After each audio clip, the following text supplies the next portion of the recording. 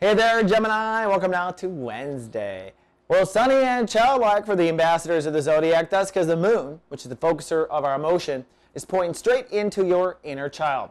That means you're playful, you're romantic, you're really sexy, you're very creative, and this is a great day to invest in your children or a certain romance.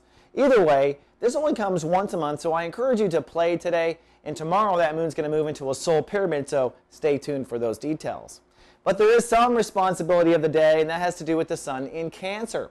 Today, Saturn is actually ruling the sun, which means we have the strength, courage, or information to make a critical decision in our life. We finally have enough to make the decision. And for you, it's about what we call soul capital.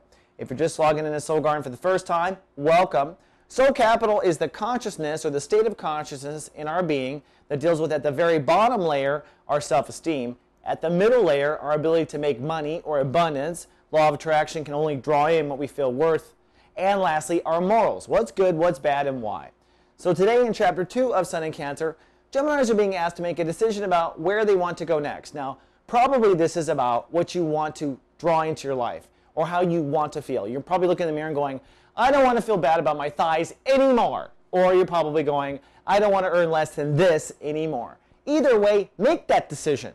Realize that a decision is an incision in consciousness. We're cutting away from the past and moving toward the future. And if you want to light cast abundance and self esteem, you better decide, Gemini. I know, guys, how you guys are. Back and forth, back and forth, back and forth, back and forth. Today, decide. All right, Gemini, that's all I have for Wednesday. I'll see you tomorrow with more. Live, love, be.